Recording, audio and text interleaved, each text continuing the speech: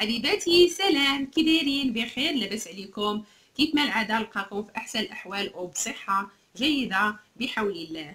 اليوم غادي نتكلم لكم على واحد المشكل اللي كيكون عند بعض النساء وبعض الرجال اللي كيسبب لهم في إحراج بعض الأحيان اللي هو انتفاخات الجفون السفلية تحت العين.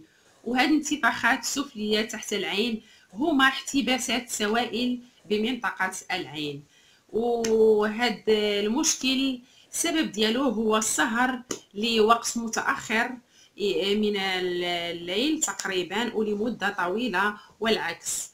أي والعكس أي النوم الكثير كذلك يسبب انتفاخات الجفون السفلية تحت العين. والإكثار كذلك في شرب آه، الخمور وأخذ السجائر بكثرة.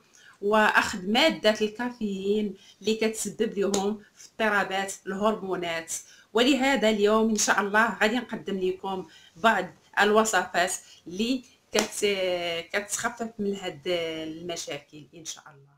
المكونات كالتالي اللي كتخصنا بالنسبة للمنطقة حول العين اللي هي عندنا فيها ملح ماء وعندنا الشاي الاخضر والان يلا معايا نوريكم الطريقة كيفاش نappliquيوها على العين ديالنا. في المكونات كالتالي عندنا الشاي كيف ما قلت لكم والماء دافي.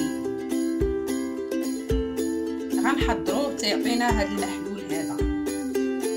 غادي نديروه بواحد un disque هكا ونحطوه تحت الجفون السفلية تحت العين لمدة 15 دقيقة أو 10 دقائق. هذا المحلول يكون دافي البنات ما يكونش يعني درجة الحرارة يعني مرتفعة.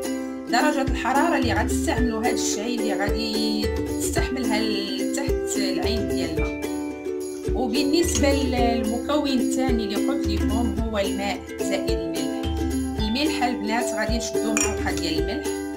بهذا الشكل هذا الملحة غادي نديروها غادي نديروها في الماء.